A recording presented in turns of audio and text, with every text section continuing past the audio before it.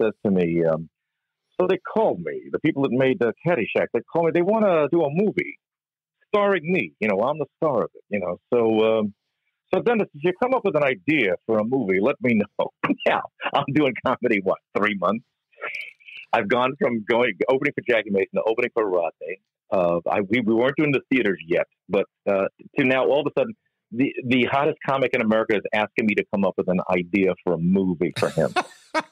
I ran I ran four blocks to my apartment where I was living, and I just paced and paced and paced, and I just came up with the idea for Easy Money, uh, which was you know his, his, mother-in-law who hates him says he'll give, give him ten million dollars if he stops smoking, drinking, and gambling for one year. He liked the idea. He he gave it to, to uh, two writers, P.J. O'Rourke. I'm sure you've heard of him.